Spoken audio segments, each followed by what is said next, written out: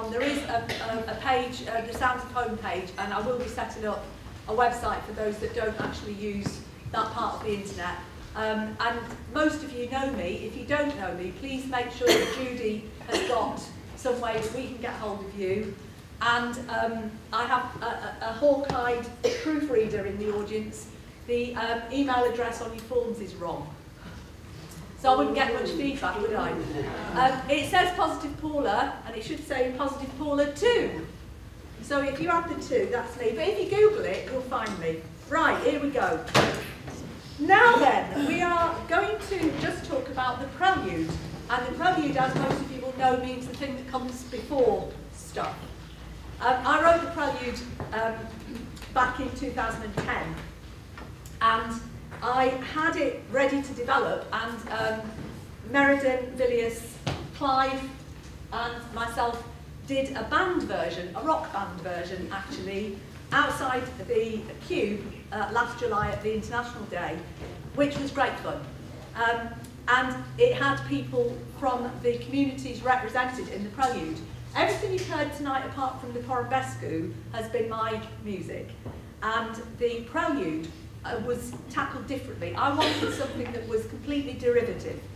And so what I, what I did with, with my original batch of music was choose particular themes that meant something to me that had a story behind, and I've then adapted those themes. Vaughan Williams does this um, as the, you know, anybody that listens to classical music will know, you know, there are settings of Greensleeves done for orchestra. Um, Vaughan Williams is just one exponent that does that. Hamish MacCunn, Land of the Mountain um, Flood, um, sets Scottish folk tunes. I've left it to him, I don't need to do it, you think. Um, anyway, so it, it isn't unusual to take melodies and do that with them. Um, the first melody that we um, that, I, that I found when I was doing this, I was trying to work out what the mode was, and we, we know, I mean, a scale, do, re, mi, we all know about that. Sounds a bit different, but sounds entirely different. And I'm fascinated by that type of a, a mode or a scale, and it's found all across the Balkans, the, uh, the Jewish people who have had to travel, who have been forced into exile more times than anybody would care to mention, take their music with them. So it's, it's very klezmer. Um, also the gypsies that travel take uh, their music with them, and sometimes it's difficult to know. For me, because it appeared in so much of the music, the piece that we will hear tonight, the prelude, opens with that scale, and when it's performed live, it will be a violinist doing um, the, the way a, a Hungarian um, band would play at the beginning with some improvised fancy stuff. Stuart's done a great job, actually we weren't able to make the digital version do that. So you will only hear that scale. The next thing that you will hear is a fantastic theme which came from um, my second, uh, from my first Polish interview with, um, I've just been corrected, Anna Kolodziejska, not Anna Partyka, and it was Anna Kolodziejska that John married, so I got my names all wrong. Um, anyway, she shared a theme with me um, from a film called El Pianista by Wojciech Kilar, and when I was in Poland this summer, what was amazing, I went to a place called Zakopane at the foot of the Tatra Mountains, and there was um, an absolutely fantastic display on the railings of this old people's home. And I thought that's interesting. Look there's somebody with a grand piano. And that is where he had actually um, spent some time. I wrote to him to ask him if I could use his theme. And there's a really quirky and sad thing that I wrote him on my birthday in 2014 uh, only to find that he died that day. And he left no estate. So there was no way of finding out if this theme could be used. It's the most amazing theme. For me it represents it's called Moving to the Ghetto, and the other thing that I did when I was in Poland is I did the walk that the, uh, the, the Jewish community had their own place in Krakow, the Jewish quarter, and as the Nazis moved them out into the ghetto, uh, there's a particular route, and I, I walked it this summer. So Jane is now going to play on the clarinet this particular theme, which I've set to clarinet because I think that gets the klezmer feel, but also there's a kind of dark brooding quality to it. So over to you, Jane.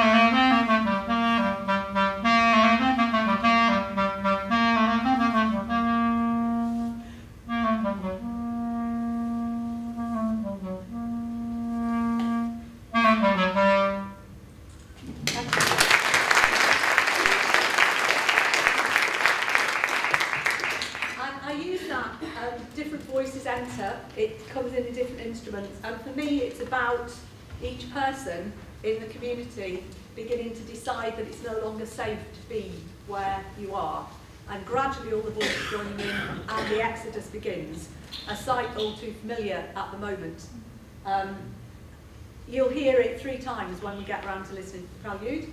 And what I find uh, particularly striking is that when the world around you won't fit to accommodate you, the thing that you hold in your heart is the song of your people.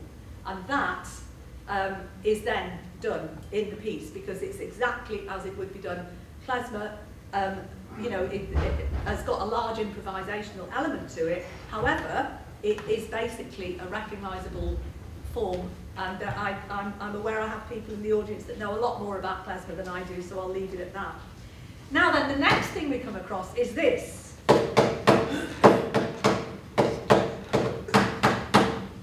Which is a rhythm that some people will recognise instantly. Can I have the clip, please? Maestro in the box there. Ahora el pueblo que se alza en la lucha con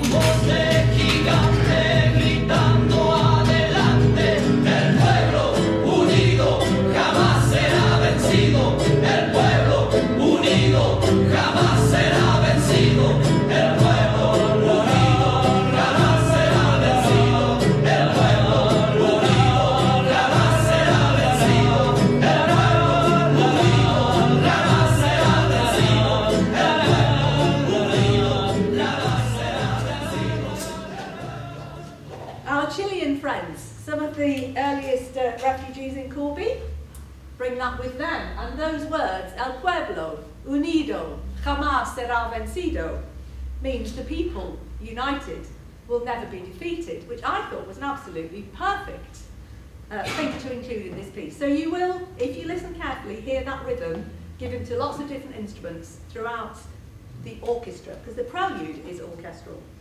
Um, we also find then the Croatian tune. Where are my tangistas? Are they here? Tango. Right, the Croatian tune is set to a tango rhythm. Now, did you know they did tango in Croatia? Well, I, um, I didn't know that. And actually, we don't necessarily. But um, what we have now is the amazing Anna, um, we weren't going to have the equally amazing um, Mary. Are you there? Where, where's Mary? She's hiding somewhere. Mary was going to do the tango for us. Um, as, as my ballet teacher from many years ago, absolutely wonderful dancer, who, when Judy was there, and it was Judy's idea, um, got her through Strictly. So we would have been having tango, but unfortunately all Mary's partners, dance partners are out on a Friday night. So the reason, the reason we have a tango is because this is Anna here. No. Caterers in the house? You are there. Okay, fine. This song is, uh, it was in Anna's interview, she told me about um, this particular song, and it's the, the last Sunday. Tango was very big in Poland in the 30s, and this song would be sung before people were setting off um, to war. It's actually a love song between two people saying you found somebody else and you're going to leave, but you know, can I have this last Sunday with you? And um, it, it, it became so famous, actually, that the Russians then decided it was theirs. So there's been this interesting thing about whose song is it. Um, and then uh, on a slightly less cheerful note, I mean, it's not cheerful at all, because the other thing is when, when people are forced to move, and I'm talking to people who have moved, very often the relationships have to end because so many families are split up by the process of um, exile or refugees or you know, um, whatever the mi migration is for, it means that relationships break up. So that was enough, we thought, and then I was just trying to find some music online, and I did some more research, and a really cruel thing that happened with this song is that there were a lot of um, Polish people in the camps, in the concentration camps, as well as Jews, as well as gypsies, as well as gay people. We know about this. But one of the cruelest things is that the Nazis used to play this song over the uh, loudspeakers as the various people were taken to the gas chambers. So that's sadism for you. Here we go. Let's forget that and tango.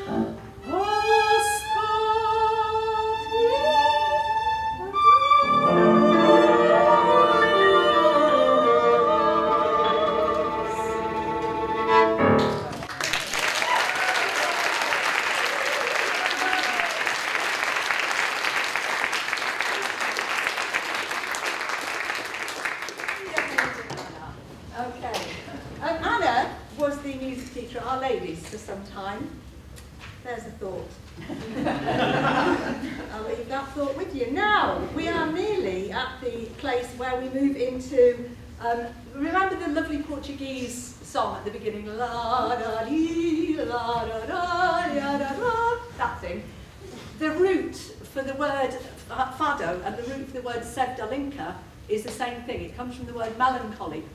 And sevdalinka is the music that crosses the Balkans. This is the music that whether you're Croatian or Serbian, Montenegro, all of the former Yugoslavian uh, countries would hear Sevdalinka. The problem now is where does it belong and whose is it? And there's a fascinating young artist whose name I can't find, so I'm not going to bother. Um, but she insists that music knows no boundaries. And that music may well have been heard in any of those countries, and so she insists on playing it as Sevdalinka, regardless of where it's from. So some of the pieces uh, that you hear in this come from, come from there. Now, one of them is in a, a very unusual time signature. So at this point, the project manager, did you know she's a flautist? there you go. You just wouldn't know. And there are so many fantastic classical musicians in Corby. Nobody knows about them. There's loads of music teachers. We should form a, a, a music teachers club or something, we? Should. Anyway, um, you may also see behind the piano, hopefully, Mahesh because um, this is a tune that we will hear. Judy, could you give us the send that tune?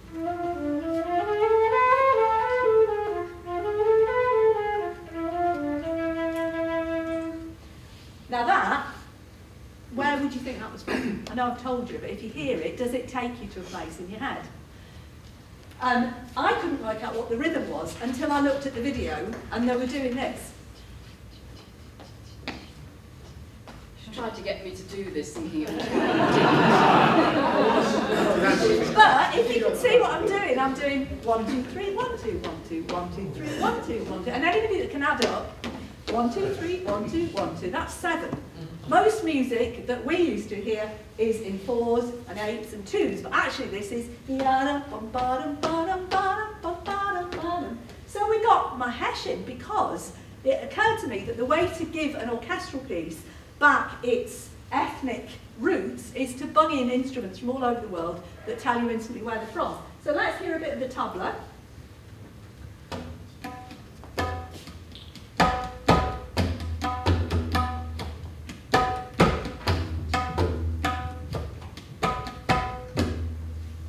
If you hear that, you know where you are. Yeah, would you agree? So I decided that I would put um, percussion from different places back into the piece. When I talked to Paul Hilliam from Rutland Sinfonia, who's interested in actually um, having this piece performed by them, he said, you can't publish this, Paula, and then expect orchestras to find a tabla player. So I thought, when I publish it, I'm just going to put a list at the back saying, give Mahesh a ring. and if you want Latin, give Elio a ring. And if you want Irish, give Clive a ring, because we've got to hear from him yet. You know, they're out there. Orchestra lists might not have a spare, you know, tabla player, but we've got them here in Corby.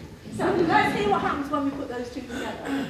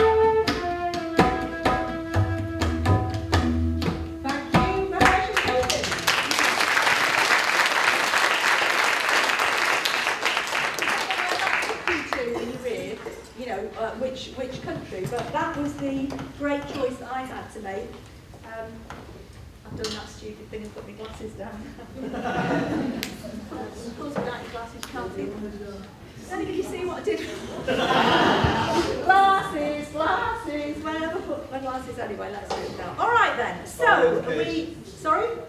Fiddle case. Fiddle case.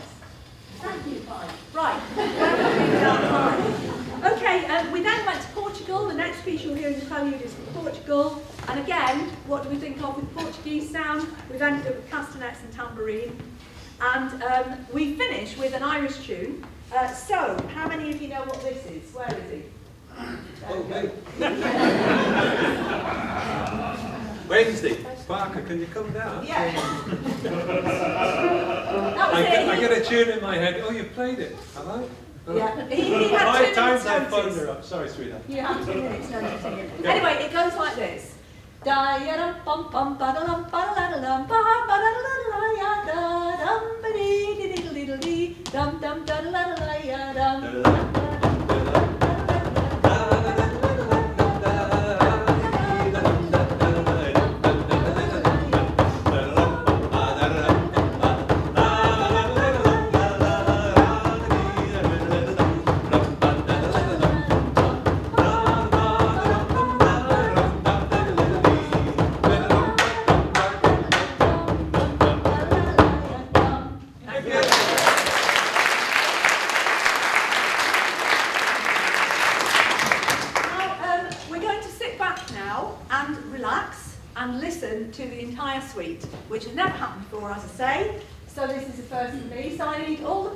Ready, because it starts with a recorded piece. Um, after the prelude, we go on to the uh, Lithuanian recorder stuff, which for me is about the planet is home. After which we have the samba, because there's a lot of positivity about people coming coming here with that hope. I call it being on the hope train, coming here with hope in the hearts. I have to say, this is my best story, sorry. Uh, the Windrush, HMS Windrush, we were um, short of, of labour power at one point and we asked people to come here from Jamaica and such like and they arrived on the Windrush and there's these fantastic faces of expectation getting off that ship coming to the motherland. Here we are we're bringing our labour here and what did we get? No blacks no dogs no Irish okay? So what's that got to do with tonight? Camilla was on the Windrush when it blew up as a baby so she might not have been here tonight if it had not been for the uh, en- ensuing the safety operations. The boats went down the wrong way, so they couldn't use the lifeboats. Her father has to swim uh, to safety, and she survived as a baby, and she's here tonight. I think that's a great story. Sorry.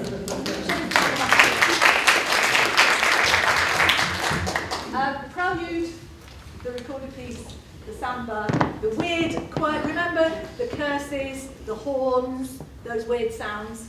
Then the battle improvised, followed by the waltz mazurka, finishing off with the um, Estonian Welsh thing over there.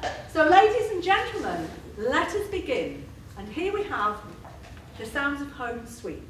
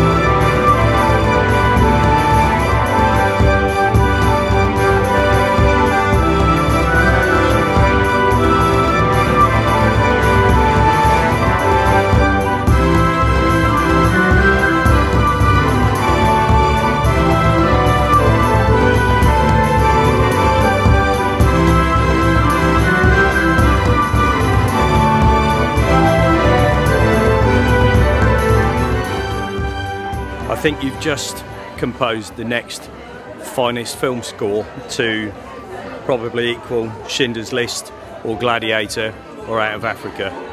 They're movies from my time. You've captured everything from the 20th century, and it makes me wonder why 15 years into the 21st, we've still got it so wrong. I can't believe what you've written. It's probably the finest piece that I've heard, and I mean that. You know my love of music, and you know our musical heritage and upbringing. I think you've written the anthem of the Balkans, and anybody caught up in that crisis should be very, very proud. Simply superb. Second part was brilliant. I, I really loved it uh, because I'm Polish. Uh, there were some Polish references there, and there was Chopin. There was there was last uh, Sunday tango, uh, Polish song, and uh, I just loved the the whole experience. And I think uh, the composition was great and everything just came together brilliantly. And this is what she trained for, and over the years with all the community things have been brilliant. But this is the Paula that we grew up with, and it's just amazing. That's that's it. That's it.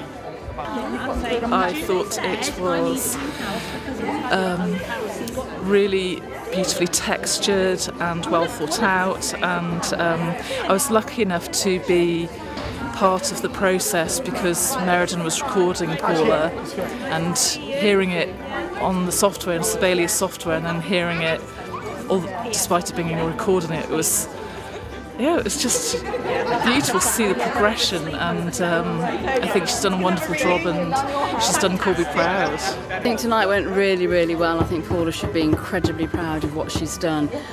The idea of Sounds of Home to take people's memories of their sounds of home and create a completely new work is absolutely wonderful. And I think Paul has done a wonderful job in creating that sounds of home from the people of Corby who live around us. So all credit to her and I really hope that we can get the funding for her to take it on to the next stage. and I would love to say thank you so much, Paula. Thank you so much for you being you and for your fantastic imagination with music for your love for music, for your love for people, for your doing for Corby, and not just for Corby, for people who live in Corby, but they are from other countries and from other sides. It's just amazing. It's just amazing, and thank you very much again.